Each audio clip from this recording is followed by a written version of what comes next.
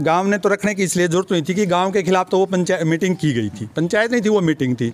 दूसरा, उनको समस्या इसलिए नहीं, उनको तो समस्या यही है कि भाई सरकार का विरोध क्यों करे? कि वो सरकार के आदमी हैं, वो खुद कह रहे हैं। वो खुद कह रहे हैं कि भाई हम तो जेपी दलाल और सरकार के साथ हैं। पंचायत करो। अगर पंचायत में सर्वसम्मति तो मिला है तो तो आप तैयार ना भैया अपना कहना अपना मंदिर साहब अपना मंदिर में रहेंगे गाँव को भाईचारों को खराब कौन करना चाहूँ नमस्कार मैं हूँ आपका दोस्त विनोद शर्मा और आज हम पहुँचे हैं लोहारू के यहाँ एक चल रहा धरना जो कि काफ़ी फ़ेमस हो चुका है खरखड़ी धरना और वहाँ के लोग आज अपने गाँव में ही एक पंचायत करने को मजबूर हुए हैं। और उस पंचायत की बड़ी वजह हम जानेंगे इन लोगों से। दो दिन पहले भी इस गाँव में एक पंचायत हुई थी। अब पंचायत पे पंचायत की ज़रूरत क्यों पड़ी और अब ये लोग दोबारा से क्यों इकट्ठे हुए हैं, उस बात को लेकर चलिए बातचीत करते हैं। महाराज सदानंद सरस्वती भी काफ़ी फ़ेमस हो चुके हैं। चाहे टिकरी बॉर्डर की बात करें, चाहे ढासा बॉर्डर की बात करें और सुनील शोरान एडवोकेट हैं, ये भी चाहे कानूनी कार्रवाई की बात करें या दूसरी बातें हैं धरने की संभालते हैं। तो महाराज जी, पहले तो आपसे ही चर्चा कर लेता हूँ। आज आपको भी एक सफ़ाई देनी पड़ी कि गाँव को मेरी ज़रूरत है या नहीं है। या मैं गाँव के भले के लिए कर रहा हूँ, या फिर गाँव के युवाओं को बहका के और फुसला के सरकार के विपक्ष में खड़ा कर रहा हूँ तो क्यों ज़रूरत पड़ी? ये दो तीन दिन पहले जो पंचायत हुई बताओ हैं उसमें एक वीडियो वायरल हुई थी, उसमें आ रहा था कि गाँव के साधु संत भी और बाहर से आए लोग भी कर रहे धरना गाँव का कोई आदमी नहीं है।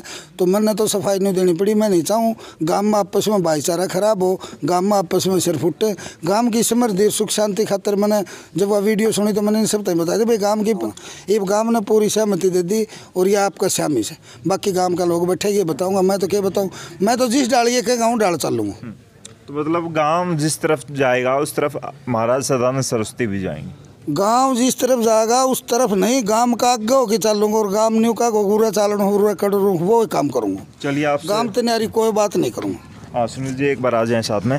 आ, अभी आपने थोड़ी देर पहले कई विकास की बातें भी पंचायत में बोली हैं। उससे पहले आपने बताया कि गाँव में आप पुराने हैं आपका जो परिवार है वो प्राचीन काल से यहाँ रहता आ रहा है। ये दूसरे जो लोग, दूसरी पंचायत के सदस्य थे, वो बाद में आए हैं। नहीं, ऐसी कोई बात नहीं थी। बात मेरा, उसका ये था कि उन लोगों ने ये कहा कि हमारे गाँव के नहीं हैं। वहाँ उन्होंने पहली बात आपने कही, वो पंचायत, वो कोई पंचायत नहीं थी। अपने घर, अपने समर्थकों को या दलाल के समर्थकों को, ये दलाल की की हुई साजिश थी। उसका कुछ नहीं था, क्योंकि दलाल जो है, उस बीजेपी की पूरी काई और खासकर हरियाणा का कृषि मंत्री जो है ना, वो ये चाहता है कि एक बार समाज में बंटवारा हो जाए। तो उसने सबसे पहले हमारे गाँव को टारगेट किया कि इस गाँव में एक बार भाईचारा खराब हो जाए तो तो उसने अपने समर्थकों के घर, ये किसी गाँव के गाँव के पूरा गाँव बैठा है कि ये गाँव का मेन चौक है, दूसरा उधर है। गाँव के मेन चौक में कोई पंचायत नहीं, उनके समर्थकों की, उनके घर पे मीटिंग थी और उसमें वो ये कह रहे हैं कि धरना पे बैठने वाले लोगों को बारी बता रहे थे। इसलिए हमने कहा कि वो बारी कौन है? इस गाँव के आप जो हमारी प्राचीन परंपरा है, भी जागे होते हैं, हमारा रिकॉर्ड होता है, निकलवा लो आप कौन है? दूसरी एक बात मैंने इसलिए करनी पड़ी क्योंकि वहाँ दो आदमी जो सबसे ज़्यादा बोले, उनके खिलाफ पंचायतें हो चुकी हैं भ्रष्टाचार की। उनके खिलाफ भ्रष्टाचार की शिकायतें हो चुकी हैं। तो अच्छा। वो लोग सबको पता है डीएसपी ऑफ़िस में या इसी गाँव का समझौता हुआ बिजली बोर्ड में वो लोग ये कह रहे हैं कि गाँव का विकास की बात कर रहे हैं कौन से विकास की बात करें? इसलिए हमने कहा कि हम बाहरी जो है वो गाँव के चौक में गाँव के लोग बताएँगे बाहरी कौन है और गाँव के कौन है। और ये आपके सामने पूरे गाँव ने मोहर लगाई कि ये धरना पूरे गाँव का है और पूरी लोहारू का है। लेकिन आपने कहा कि वहाँ पर चंद लोग मौजूद थे आज की पंचायत में कितने लोग मानते हैं आप नहीं नहीं ये मैं ये मैं ये मैं नहीं बताऊँगा ये आपका हाँ। कैमरा और आप बताएँ देखेंगे कि आ, हाँ, इस गाँव में मैं नहीं मैं बताऊँ इस गाँव में साढ़े आठ सौ घर हैं। जिसमें से आप देख सकते हो कि कितने लोग यहाँ हैं और कितने नहीं हम्म। अच्छा मैं बात करूँगा आपने बताया है यहाँ पर लोग पहुँचे हैं। उस पंचायत में भी सैकड़ों लोग अखबारों ने भी सुर्खियों में हाँ। उसमें लिखा था कि सैकड़ों लोग मौजूद थे पंचायत में और फ़ोटोज़ में भी जितनी वीडियोस थी उनमें दिख रहा था कि सैकड़ों लोग मौजूद हैं। तो क्या वो लोग ये नहीं चाह सकते कि उनके घर में जेपी दलाल आए तब मतलब गाँव की सहमति नहीं बन सकती? पर्सनल काम के लिए तो आ सकते हैं नहीं निजी तो आपके इसकी बात करूँ मैं संयुक्त मोर्चे की उसने भी इसके लिए मंजूरी दे रखी है। ऐसा है हम्म। संयुक्त मोर्चे की मंजूरी सिर्फ़ ये थी कि कांड मुकांड की थी, जो याद में वहाँ जब हमारी खाप ने, सरो खाप ने और दलाल खाप ने उसका बहिष्कार कर रखा है तो हम उसका पूरा बहिष्कार रखेंगे। अच्छा। दूसरी बात विकास पर मैं बात करूँगा। विकास की बात, क्योंकि दो साल होने को जा रहे हैं इस सरकार को। अब लास्ट में सरकार, ये 2021 में दो साल क्रॉस कर लेगी ये सरकार। और बड़ी उस पंचायत में भी ये बात रखी गई थी कि लोहारू हलके के लिए बड़ी अच्छी बात थी कि यहाँ के एमएलए को मंत्री बनाया गया और कैबिनेट में बिठाया गया।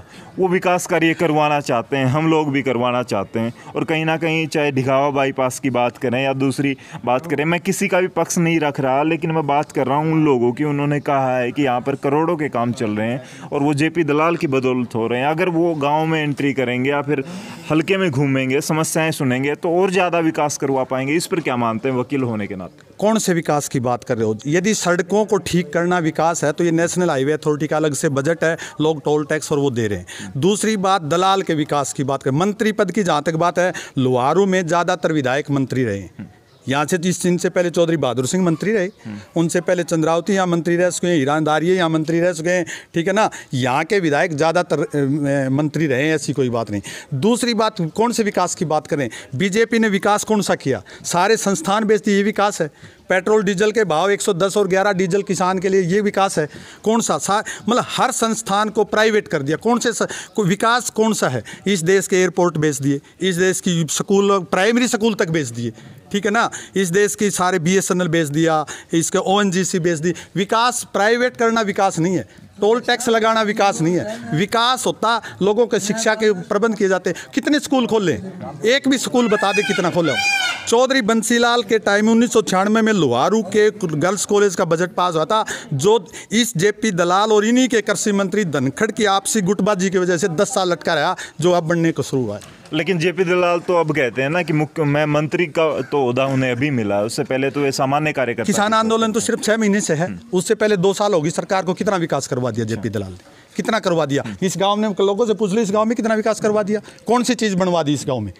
चलिए फिर आने वाले वक्त में किस हिसाब से आपका जो ये धरना चल रहा है चाहे खरखड़ी की बात करें या फिर यहाँ के लोगों की बात करें बढ़ोतरी होगी या फिर क्या फैसला लिया जाएगा? ये आपके सामने लिया है फैसला। धरनों में अब भी बढ़ोतरी चल रही है पूरी बढ़ोतरी रहेगी। किसान आंदोलन के पूरा किसान किसान जो है संयुक्त मोर्चे के साथ और जो दिल्ली के आदेश रहेंगे, उनको पूर्ण रूप से हमारा गाँव ही नहीं, हमारा इलाका पूर्ण रूप से लागू करता रहेगा हमने पहले भी किया है। अच्छा सुनील जी, मैं बात करूँगा गाँव के बंटवारे की। वहाँ पे भी लोग मौजूद होते हैं, यहाँ पे भी लोग मौजूद होते हैं। तो कहीं ना कहीं मैं एक पार्टी की बात नहीं करता, लेकिन राजनीतिक लोगों की जो मंशा होती है डिवाइड एंड रूल वाली, वो साबित तो यहाँ हो गई वो लागू हो गई क्योंकि लोग बटेंगे तो कुछ लोग दूसरी पार्टी को मिलेंगे कुछ लोग इस पार्टी को यही तो उनका मकसद है यही तो उनका मकसद है लेकिन हमने इसलिए गाँव के चौक में गाँव के लोगों को इनके सामने बात रखी पूरे गाँव के सामने। भाई यदि कोई किसी आदमी को धरने के किसी एक आदमी से भी कोई शिकायत है तो वो हम यहाँ क्लियर करेंगे। आपके सामने आपने देखा होगा अपने उससे कानों से सुना है पूरे गाँव ने कहा भी धरना सही रह से चलेगा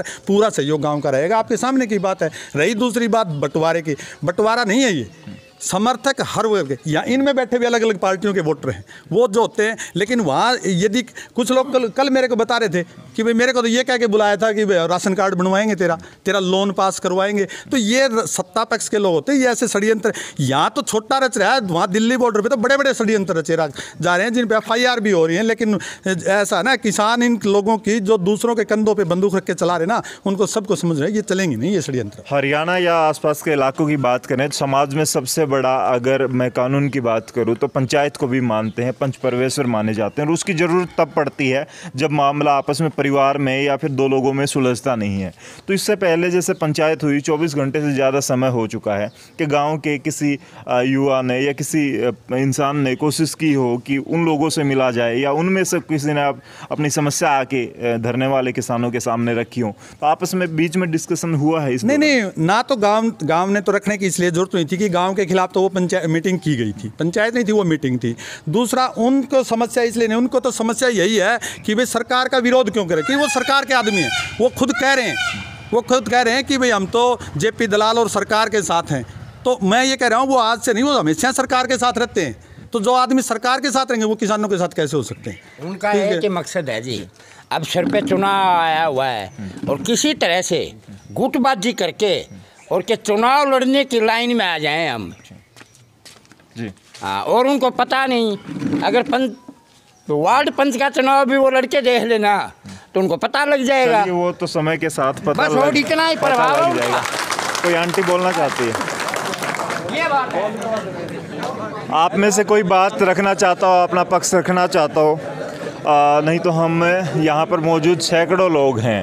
और कहीं ना कहीं जो आज चर्चा हुई उस पंचायत के ऊपर, और बड़ा मुद्दा है बीजेपी के नेता, जेजेपी के नेता, उनमें शामिल हैं जेपी दलाल जो इस हलके के यहाँ से मंत्री भी हैं। उनका विरोध करने के लिए एक अलग तरीके से किसानों ने जो फैसला लिया था, उसके ऊपर बड़ी बातें चल रही हैं, और जेपी दलाल को विकास कार्य के लिए बुलाना चाहते हैं इसी गाँव के लोग। अब दोबारा से पंचायत हुई है और उस पंचायत में जो साबित हुआ है, उसको लेकर अब आपका क्या मानना है, क्या एक मंत्री होते हुए जेपी दलाल यहाँ नहीं आ सकते? या फिर किसानों की जो बातें हैं, किसानों का फैसला है, उसका आदर इस गाँव के दूसरे लोगों को रखना चाहिए? आप कमेंट्स बॉक्स में अपनी राय ज़रूर दीजिएगा। इस वीडियो को शेयर कीजिएगा। तब तक के लिए धन्यवाद। राम राम। जय हिंद।